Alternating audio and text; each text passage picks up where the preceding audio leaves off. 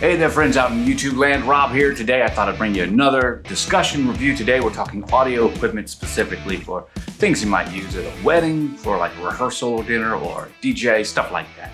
Today we're actually talking about two separate speakers of which I have a total of four, two each of the PRX 1s and the Eon 1 Mark IIs. You only see three right here, the other one is over there. In that instance, we're just kind of chit-chatting about these two speakers why I chose them, what it feels like to continue to use them after a year, and have I noticed anything about them that I liked, didn't like. If you're looking at to get into these types of speakers, here's gonna be what I experienced picking them up, how I've enjoyed using them, and why I would purchase these again. If you're wondering, none of this is sponsored. I bought everything here with my own money several years ago, and these are my just unfeathered thoughts. I hope that they help you, and if they do, leave a comment down below. If you wish to pick some up, you can use the Amazon links yourself. If you want to email me and ask me or have a conversation like that, send a tip using Cash App or PayPal, and we'll set that up for you. Okay, this isn't gonna be one of my big videos where I go into a huge detail about this. This is a coffee cup kind of conversation. You guys know what that means. Sit back, drink, think about what we're talking about, and check the links below to jump right into it. Now that whoever's still watching is actually here for the video, let's jump into it. When I started setting up my mobile operation for my wedding photography business, I always imagined having a DJ side of the house as well. I wanted to provide stationery, photography, videography, and live music to include playing some guitars that you see over there, singing the bride and groom some songs, as well as DJing. The live event sound hasn't exactly happened very much, although I will do requests. I'm still kind of forming those things. But this entire process for my wedding photography business has happened over 15 years. And during that time, I've really expanded into the production specifically with video production, and I've looked at getting into the DJ side of the house two times. Now, the first time was back in 2016, 2017 when I realized I just didn't have the manpower, staffing, and knowledge at that time to do all of those things well. I could obviously buy the gear and hire somebody, but I wanted to be able to be a master of my domain as best as is possible.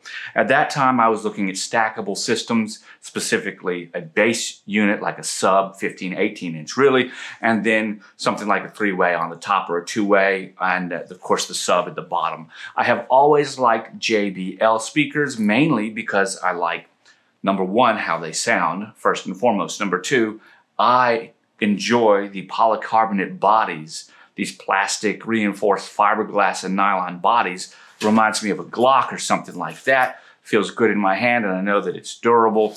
Also, I have enjoyed the ease of use. For those reasons alone, I was looking at JBL from the get-go. At the time when I was originally looking at JBL starting in 2015, 2016, 2017, I had been comparing to other great brands like Electro Voice, um, the, the, EV stuff. I also like the Maui stuff. Getting kind of, some of that gets kind of um, chintzy. Some of the Harbinger stuff would be easy to jump right into. I wasn't interested in anything kind of low end. And then, of course, going on to the top end of the stuff, I wasn't interested in that because after all, this is gear that needs to be used to make its money back.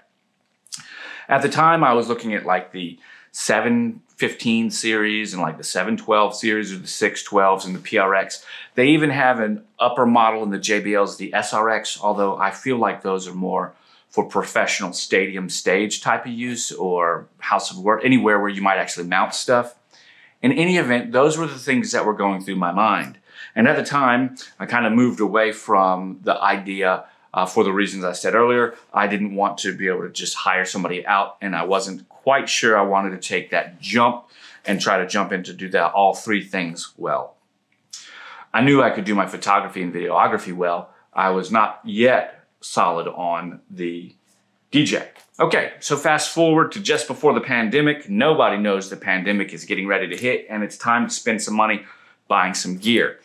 And I went all out and I got all kinds of gear in order to provide a full service DJ operation, as well as my uh, video and photo work. And I had been practicing in the time I had been working uh, with other DJs, had been going along as ride-alongs like that, learning, building my music library and really doing my due diligence. I got hooked up with a good friend that I had worked with for years but we kind of started working together at a venue, Wizard of Sound, Greg Riggins, and he taught me quite a bit about DJing from behind the deck, working on his gear and stuff like that. And since we worked so many weddings together, it was easy for me to dangle my toe in that and actually get some experience before laying out the money. So as I was working weddings and we saw each other all the time, we became friends over the past four or five years. And next thing you know, I've learned so much, it's time to jump into it. At that point in time, we're actually looking at this gear and I've switched. I've decided that if I'm gonna have a mobile operation, I want something that's easy to carry. And so I wanted something that's fast and simple to set up. One of the things about Greg's units that always sounded great was that he was always setting up the units and it was always uh, an operation even when I would help him put them up and take them down. At the time, we had talked about different column array systems and he wasn't quite sure about them, but knew that there were some nice ones out there. His opinions have changed over the years since I got my system and has since bought two JBL PRX1 systems to replace his top and bottom units that he would normally take.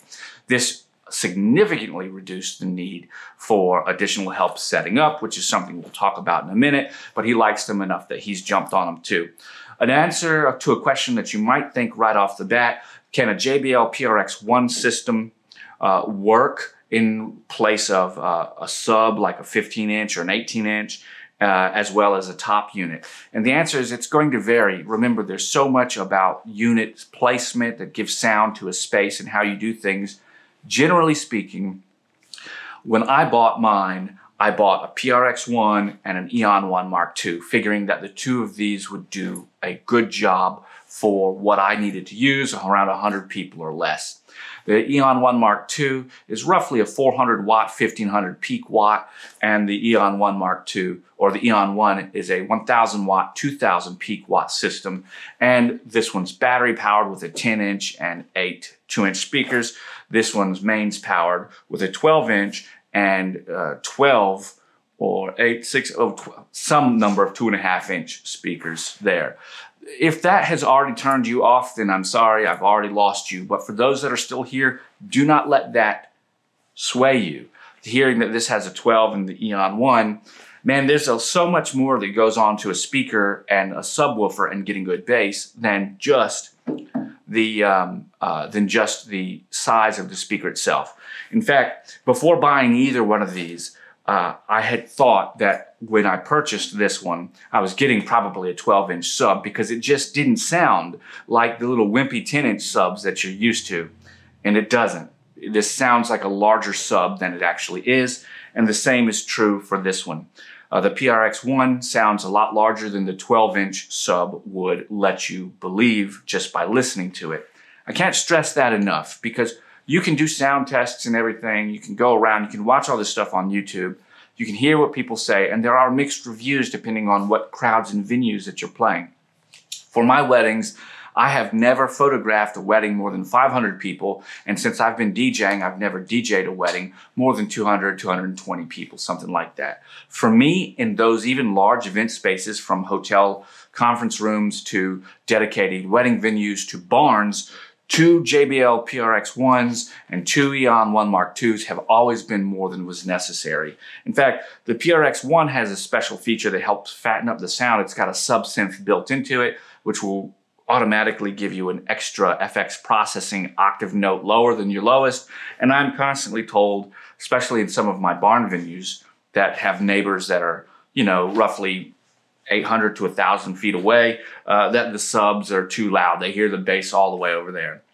Will it suffice uh, up against an 18 inch sub? No way, not in a, a 2000 watt 18 inch sub. I don't, not, not in, not in your life. No, you're in a different kind of event, right? You, you're talking apples to oranges. But if you were saying, will this compare to a 15 inch sub? Um, yes, in a lot of ways it does, but in some ways it won't. Obviously, uh, sometimes a sub is just required. However, I think that for playing wedding, even with top 40, hip hop, rap, um, stuff along that, R&B, you're going to have more than enough power with the two JBL PRX ones. Now, before we get into how they take it down, let's talk about this. My buddy Greg says after using mine a couple times, both of them or the sets prior to buying his own, he says the big brother is where it's at. That's what he calls the PRX1, the big brother. And the little brother eh, just can't quite cut it. So if you're thinking about if you're a singer-songwriter and you're playing a small venue or something like that, you know, 30, 40 seats, 50 seats, the PRX, uh, the Eon 1 Mark II probably will do it for you. You plug it in, you got your acoustic, you got multiple uh, inputs back here, you're fine. If you were even going to do a small gig where you were kind of doing uh, like a little live music or like a DJ mixing or something like that for a house, uh, front of house, something like that, yeah, that would work. If you were doing something where you needed to do some busking, that would work. Yeah, it's all good. You're probably going to have plenty of bass there for you. Remember, it's it is a 400 watt speaker system that peaks at 1500, so it'll give you some good output when it hits.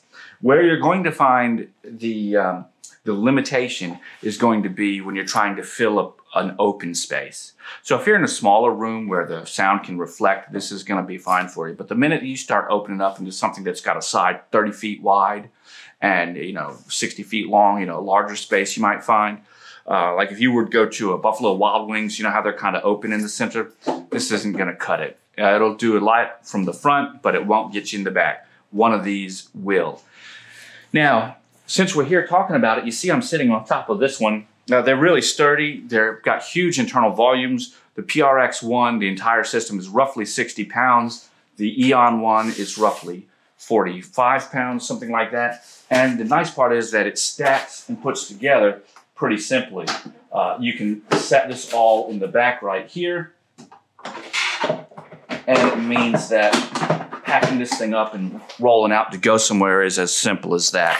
Now, I've got one more unit that's not attached right now. We'll grab it here and let you just kind of see how this works. Talking about the Eon 1 Mark II, we've got one battery, which will legitimately last easily six hours. It's rated at six hours. You can stack two batteries for a total of 12 hours. And you've got this column spacer right here. The battery always has to go first. And then you've got your, uh, what, 12 speakers at the top or however many it is. And then this is what the unit looks like when it's standing. It's nice and tall. I'm gonna take this out for just a moment so that I can talk and look around you. When we're on this side right here, keeping the battery in, you'll notice that we should be on right now. Yeah, we're, we're turning on right here and we've got all of our inputs. We've got three inputs right here, which are XLR or combo jack, well, four XLR, three XLR combo jacks, and then uh, two smaller ones right there that are both, uh, this one is just quarter inch and then this one's uh, eighth inch or Bluetooth. Maybe it didn't like it when I turned it off over there. We've got our power button right here. We can turn this power button off. We can also power this by mains power tap and hold it for a minute and then it'll come on. Now, the thing that you got to know is as you're doing all of this, sometimes it takes it a second, as you're doing all this, these first two inputs are phantom powered and you have all of the digital effects, reverb, lexicon, and ducking to all of them. This next one right here does not have phantom power, but it has all the reverb, chorus, and delay, stuff like that. The uh, high Z input right here, which is input number four, which is great for things like your uh, guitar or whatever. It's got up to a two mega ohm uh, impedance that it'll take. Uh, and it it, uh, it, loses a few of the effects, specifically phantom power. Uh, and then finally over here, when you're on your auxiliary or aux, you're out and about with uh, your own. You, you don't have any of the additional things you don't need. So your most powerful inputs as far as most functions start with your one, two, three, four, five, and they go down in that order. A couple of things that is nice about this, they've set this up without having a mindset for um, like real sound engineering. They've set it up to be super simple for people that don't know anything about sound, which means that they've just got a red, limit, yellow, uh, and green light. The green, when your signal is lit up green, for whatever reason, it's red here because it's muted, tap and hold. And now it's unmuted, it's green. That means weak or no signal. As you begin to pass some kind of signal through it from your input, it will turn yellow, which means strong signal, which is good. You want it to be in the yellow. Uh, when it's not in the yellow, it then goes up into the red, which means a limit, something's clipping. The reason this is ridiculous is because normally you'd operate uh, a little bit differently on your on your board or your deck with your sound levels out, and you'd operate based on decibels. Okay, so we've got decibels here, but this and this, the matching of the LED lights and the decibels don't really match up the way that you would expect if you're used to sound. So since I'm used to setting my cameras and everything based off of a um, decibel meter and all that other stuff, this sometimes is so simple and easy to use that it becomes frustrating. But also, it becomes frustrating in another way. It's really kind of deciding what to tell you with the clipping.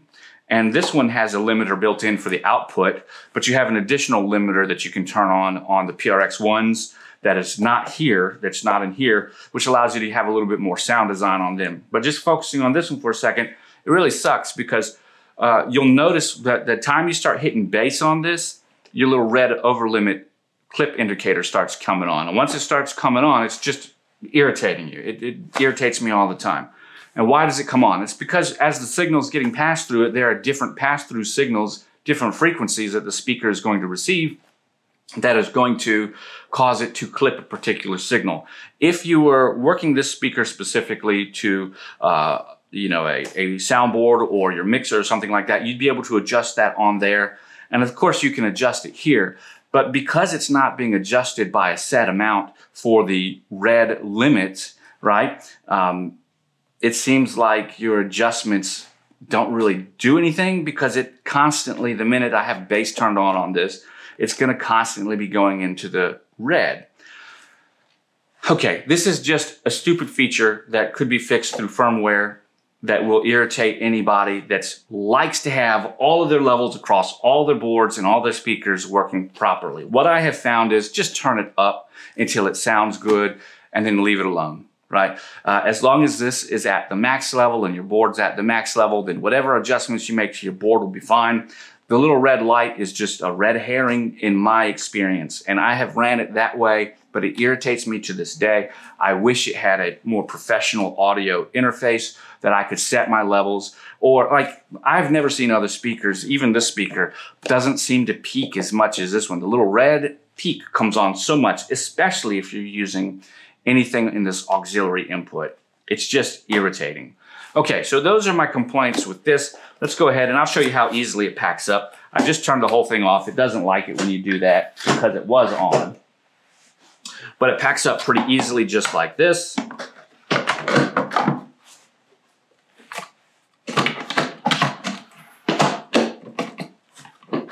Boom, and then it locks into place. And at this point in time, you can just pick it up, set it down wherever you want to go.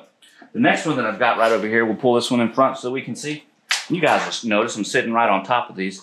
Um, this guy right here, this is my other PRX1. Now the unit itself comes with two bags, right? Well, one bag. One bag for this unit because the speakers have to go into it. And the speakers set up just like you would expect on that other one that you see right there. When you pick up the PRX ones, you notice immediately that it's a completely different kind of situation. It's just much more professional feeling, solid, sturdy. The whole thing just feels better. Okay. When it comes apart, the same kind of way. Now this speaker uh, gets quite a bit louder. The sound, the, the sound pressure level, the SPL that it can get is to up to 130 decibels. On the Eon 1 Mark II, it's 123 decibels on battery on main power and 119 decibels on uh, battery power. So you get four extra decibels of output. What does that mean? Nothing that you'll notice. It means you might feel the bass just a little bit more. On this side over here, we've got a couple of things that are going on. We have seven inputs instead of the five on the other side.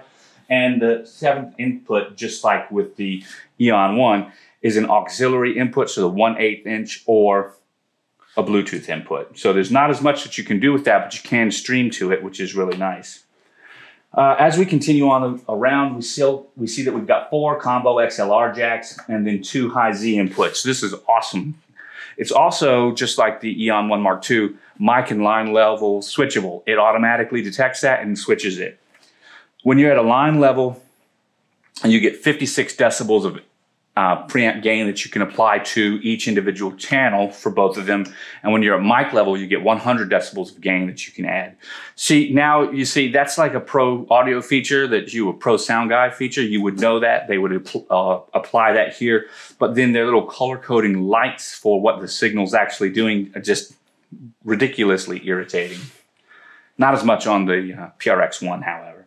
Uh, as we go through that, you get all of your different inputs, except now instead of facing backwards, they're facing straight forwards. You can see them right here. And the uh, encoder and back button, all of these things work. Each one of these little knobs is a rotary encoder knob, so you press it to select it and then rotate to change it. Same thing with your main control knob. Works very well. Both the Eon one and the PRX one have these USB ports, which make it easy to power additional things, as well as uh, charge phones, whatever you might need to do. If you're running a mobile guitar setup for busking and you're using the Eon 1 Mark II, you can get JBL's power transformer converter that'll take the um, 12, they take the 5 volt, 2 amp output and uh, take it up to 9 volts at 500 milliamps or get the one for 12 volts at 1300 milliamps. So you can power your own pedals through the battery of the Eon 1 Mark II. Now, when we look at these two and we think about how they will be used, I want to kind of talk about this for a second. And I think that it's important. I'm going to go ahead and power this one off. It's been uh, plugged in and doing a nice little update. It's off right now. When you think about pulling into any kind of a system and setting up. Sometimes it's a little tough. I think it's important to know that walking in, this is your entire setup right here. So about 120 pounds, maybe 110 pounds, I don't know. Oh, with the whole system. You set this thing up and you walk right in. By the time you get to where you're going, you put your stuff down and then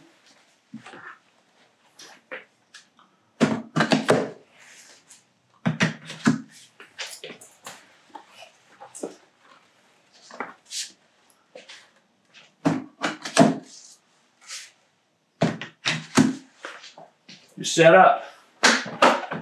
Now, the way that I like to use this just to make it all work is I usually put this just like this in this configuration, two of these, on my auxiliary locations.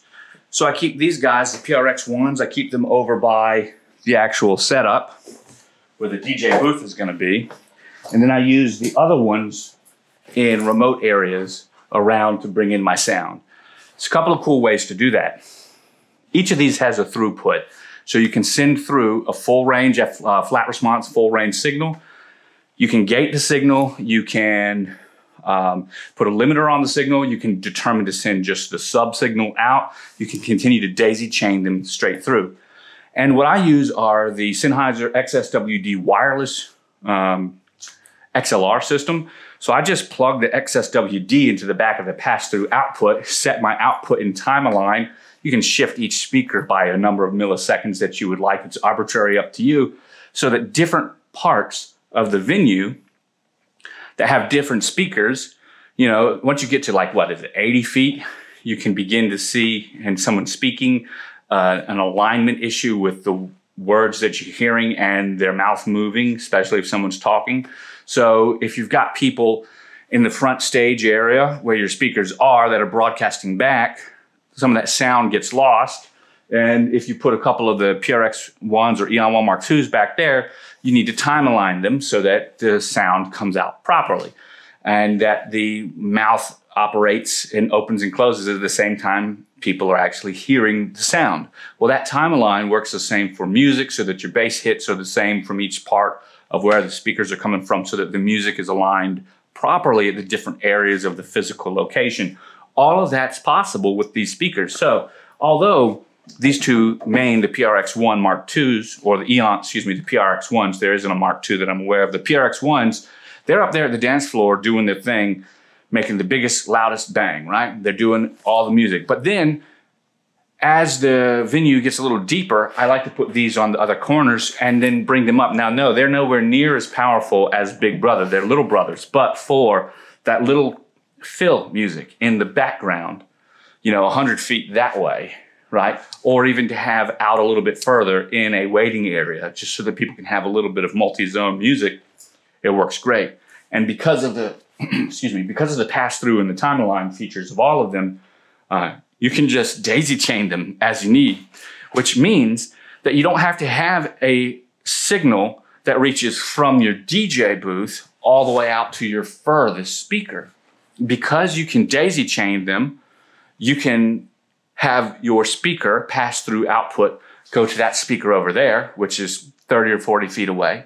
And then you got a speaker that's seven, 30 or 40 feet away from that, which is 70 or 80 feet away from your booth. But you put your wireless transmitter on the back of that with the time align output to that one. So now you can daisy chain them and you can even get around things like line of sight from your furthest speakers. So now you've got the ability to literally daisy chain your speakers around corners if you need to using that Wi-Fi or wireless signal or the uh, uh, a, a 2.4 or 5 gigahertz signal, whatever your transmitter might be.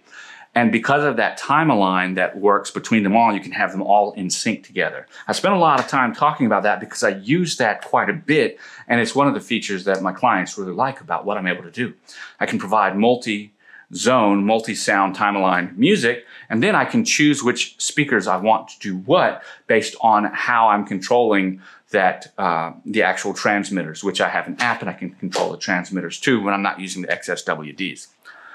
All of that being said, it gives the ability to do things like this digital marquee back there. It's just a TV, right? So if we've got something that's going on, I can broadcast the bride and groom's wedding ceremony or a video or whatever uh, over the dance floor or wherever the TV is and have the sound aligned to it with the speakers underneath it. So it just allows for a lot of good stuff. All of that is possible because of the technology built into the uh, Eon 1 and PRX 1, which is really neat. And we didn't even talk about the ducking that they have the ability to do stuff like that. The last thing that I don't really like about them, and I hope that you've seen this has been a like, don't like kind of sandwich as we're talking about it, is the rotary encoders are kind of chintzy. Um, they feel like scratchy volume potentiometers on a guitar from time to time, meaning that when you rotate them quickly, you would expect the setting to scroll fast, but it doesn't. It's almost like there's a lag between them. That can make setting selections a very deliberate process. And if you feel like you're in a time crunch where you're moving quickly, it will force you to go slowly or you will continuously overshoot the setting that you want. It's a terrible feature. I don't like that about them at all. And it sucks. And uh, compare that with on the Eon 1 Mark II, that uh, over limit flashing all the time. Eh, it's an irritation. Uh, to finalize all of this, none of that really matters in the long run because all of these will connect over Bluetooth 5.0 to the JBL Pro Control app, which gives you amazing control from your phone directly over all of the speakers right in your pocket. Now, you've got audio control, you've got um, uh, command control, and you also have true wireless surround sound control, which will allow you to then designate certain speakers as a left, center, right, full spectrum, whatever. So if you wanted to go straight stereo with your speakers and you were working with stereo effects, man, you could do that with all four of them. With one of them, it doesn't really matter so much. But with two, three, or four, you can designate each one. All of that's done on the app. Of course, you could do it through the control panel. It just makes them really, really uh, well, really usable. So if you were to ask me, do I like them? 100% I do. If you were to ask me, would I suggest them and buy them again? Absolutely, they sound great. And if you were to ask me, would I ever need to buy a sub? Mm, yes, I think I would buy a sub, but I wouldn't use it very often. And the times that I would buy a sub uh, would probably be for, I think, outside more than inside. And I think this is the most important part about the sub. If you're inside um, you're going to have quite a bit of bass response from the PRX ones. If you're playing a couple hundred people, like, like I have, that's my experience, up to about 220 people, 200 to 20, then these guys are going to go fine. Obviously, if you're doing a 500 person wedding, I don't think these would cover it. I think that the people would soak all of it up. If you had four PRX ones and you placed them around, then you probably would be fine. But in that case, you're going to spend twice as much as you would spend to buy another bass or a sub. I think that you have choices to make. So if you're looking at buying these, the best advice that I can give you is think about the venue, size of people you're going to play, and the regular shape that you're going to play. If you're going to do a lot of stuff outdoors, you may need a different powered solution for subs because you will lose quite a bit outside because there's nothing for the sound to reflect on. But if you're in a structure like, um, uh, you know, a venue, a wedding venue, or even a barn, the idea of the walls, the structure, a concrete or hardwood floor is going to bounce this sound quite a bit more. And the sub synth that's built in, which as a digital effect, to the PRX ones really adds quite a bit of fatness to your sound and will help out a lot. So that's my take on these. I hope that you have found them helpful. If you have, leave a comment down below. And I'll catch up with you guys on the flip side. Bye for now.